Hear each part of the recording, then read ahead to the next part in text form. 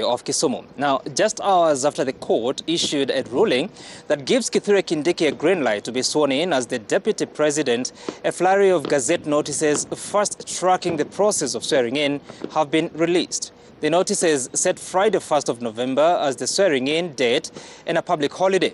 Musalia Mudavadi has been appointed interior, uh, acting Interior Cabinet Secretary as Melita Oletenges now reports. Had the dust settled on the court's ruling paving way for the swearing in of the deputy president nominee Kithure Kindiki, then the wheels were in motion to install him in earnest. In a rapid fire sequence, a flurry of gazette notices were issued starting with Gazette Notice 14098, gazetting the Assumption of Office of Deputy President Committee in line with the Assumption of Office Act. Chief of Staff Felix Koskei announcing the appointment of Mercy Wanjau, Secretary to the Cabinet, as the chairperson of the 21 member committee to facilitate the Assumption of Office of Deputy President nominee and convened a meeting.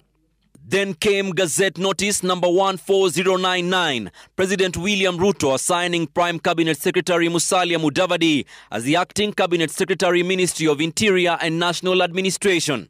Gazette Notice 14100 then followed. The chairperson of the Assumption of Office Committee swung into action, notifying the public that the swearing in ceremony of the Deputy President nominee shall take place on Friday at the Kenyatta International Convention Center. Gazette Notice 14101 by the Acting Cabinet Secretary Ministry of Interior and National Administration Musalia Mudavadi was the fourth Gazette Notice in quick succession, declaring Friday the 1st of November 2024 a public holiday, being the day of the swearing in of the Deputy President nominee. At the same time, the head of the Public Service, Felix Koskei, sent out an invitation to all chairpersons of state corporations, all chief executive officers of state corporations to attend the swearing in of the Deputy President nominee Kithure Kindiki at the KICC on Friday.